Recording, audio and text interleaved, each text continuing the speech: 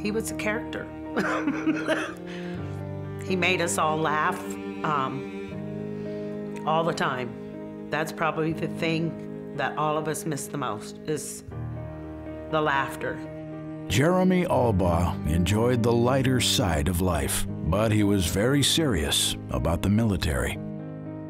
It was his calling. That was really what he wanted to do with the rest of his life. Even as a, a small boy, he would, you know, play military, you know, dress in camouflage or paint his face. Jeremy signed up for the Marines right out of high school. After boot camp, he deployed to Iraq. His duty as personal security for a lieutenant colonel took him to the city of Al Qaim, near the Syrian border.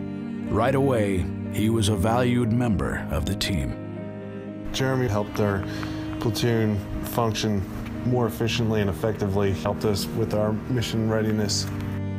Jeremy was always the first to jump out and secure the area. He used his sense of humor to bring levity to tense situations. Jeremy could always bring a joke around, you know, when it seemed like everybody else was kind of down and out. He was a good old country boy. No matter what the situation was, there was always a certain level of comfort that came with him being around you and the, your unit.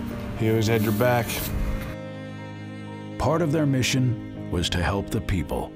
We're starting to engage more with the local communities, building schools. I asked him point blank, should we be there?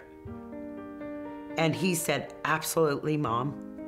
He said, we're doing good things over here.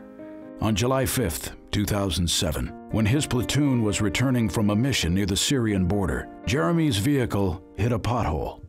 The front tire, nothing happened. When the rear tire hit the pothole, there was an IED in the pothole and it detonated right under Jeremy. Corporal Jeremy Allbaugh died that day. He served in Iraq only three months.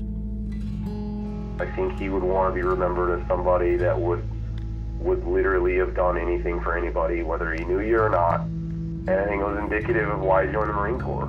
He loved what he did. He believed in what he did. He believed in what we were doing overseas.